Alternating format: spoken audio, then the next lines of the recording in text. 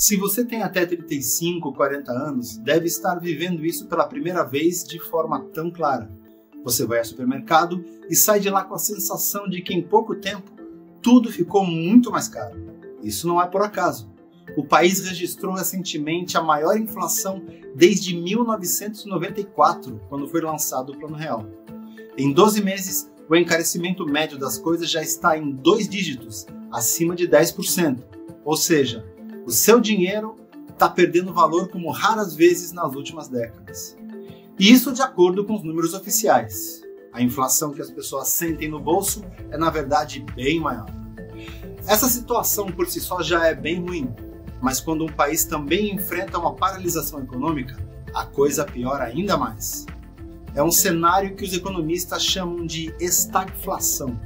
É a combinação de duas palavras, estagnação e inflação. Pode ser que você nunca tenha ouvido falar disso, e eu já adianto que não é nada animador. Pelo contrário, segundo especialistas, é uma combinação tóxica para a economia. Eu sou Roberto Crescente e vou explicar para você o que é estagflação e como ela ameaça o Brasil.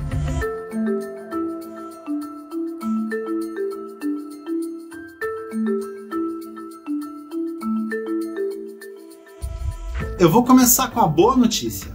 Os preços estão subindo, mas o Brasil ainda não vive uma hiperinflação. Se você não viveu uma hiperinflação, provavelmente ouviu alguém contar como era até o início dos anos 90. O país vivia um aumento descontrolado dos preços. Os brasileiros pagavam até milhões pelas suas compras. Isso acabou com o Plano Real em 1994, mas é um fantasma que nunca deixou de rondar o Brasil. O país está enfrentando hoje um encarecimento generalizado de quase todas as coisas do gás de cozinha ao arroz e feijão, isso faz alguns economistas temerem um descontrole nos preços.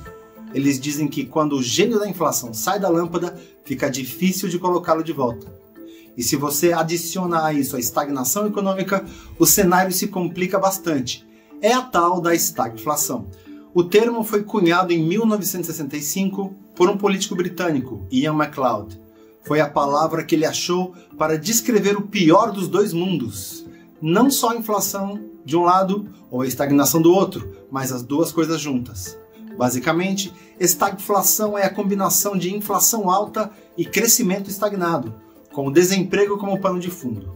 É uma situação atípica porque a inflação não deveria ocorrer numa economia fraca, mas é justamente o que se vê atualmente no Brasil. Preços em alta, quase 15 milhões de desempregados e sinais claros de estagnação. Como enfrentar essa situação? Não é nada fácil. A estagflação pode complicar muito o trabalho dos governos e bancos centrais. Eles são os responsáveis por tentar impulsionar a economia e fazer com que o dinheiro do cidadão não desvalorize. É algo difícil de fazer porque políticas visando conter a inflação podem desacelerar o crescimento e gerar desemprego. Ao mesmo tempo, medidas de incentivo ao desempenho econômico e geração de empregos podem acabar turbinando a inflação. Para o cidadão comum, o impacto da estagflação é duplo. Em primeiro lugar, significa menos empregos, já que a economia paralisa ou avança muito devagar. Em segundo lugar, preços em alta significam menor poder aquisitivo. As pessoas acabam tendo que dedicar uma parte maior de sua renda a bens essenciais, como comida e combustível. Sobra então menos para gastar com outros itens. A estagflação costuma ser resultado de decisões mal formuladas de política monetária e fiscal, em conjunto com fatores econômicos externos e difíceis de prever. Uma pandemia, por exemplo. Não é à toa que atualmente se fala muito do risco de estagflação em outros países também, como a Alemanha. Só que a economia brasileira é bem mais frágil e o país tem um componente extra, a instabilidade política. E isso, como diz a grande maioria dos especialistas, acaba minando a confiança na economia.